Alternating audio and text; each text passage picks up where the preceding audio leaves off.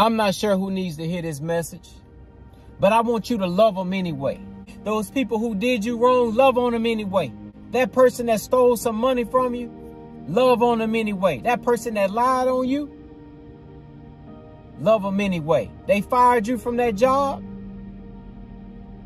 love on them anyway. Them people they talk behind your back, love on them anyway.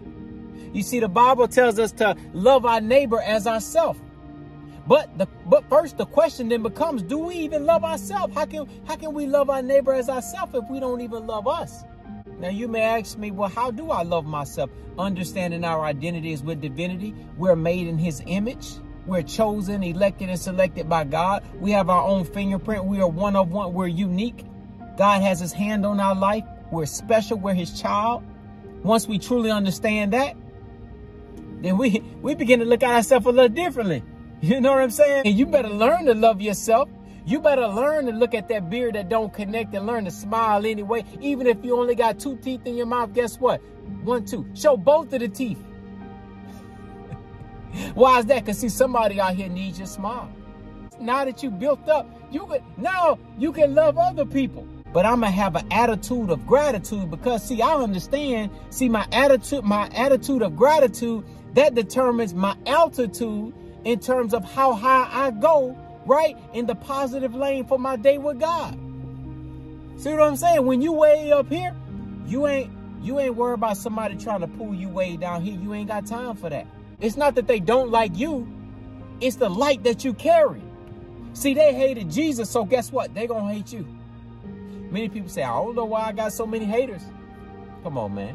What make you what, what make you think they're not gonna hate you?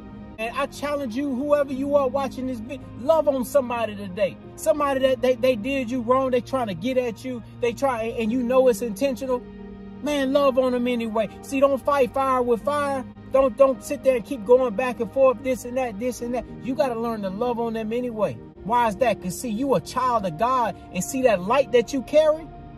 You know what I'm saying? See that light that you carry? Man, you making a difference out here in the world. And some people, they don't like that but you still choose to hold up your light. You know, you stand on your square, you don't fold, you you you you keep that light held up. People they trying to break you. They want to take that smile off your face. They want to see you down and out. They can't stand the fact that you're so happy. They can't stand the fact that you're not who you used to be. They want to bring up who you used to be five years ago, 10 years ago. You remember back in college. You remember back in high school. You remember back in middle school. You remember five years ago. You remember you used to do that? Old news.